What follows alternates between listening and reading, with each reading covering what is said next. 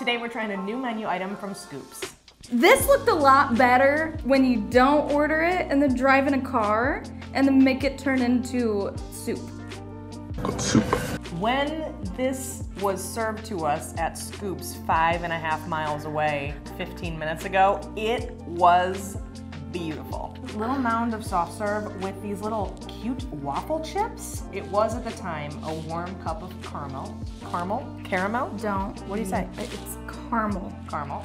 Caramel. I'm very excited for this. We saw this posted on their Facebook page and we were like, eh, yeah, sign us up.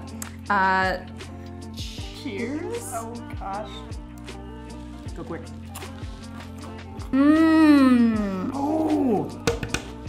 Oh. I am so into this. This is so, so good. Also, These little nacho chips are so cute. I'm just gonna keep eating. Um, What do you rate this out of five ice cream emojis? Oh.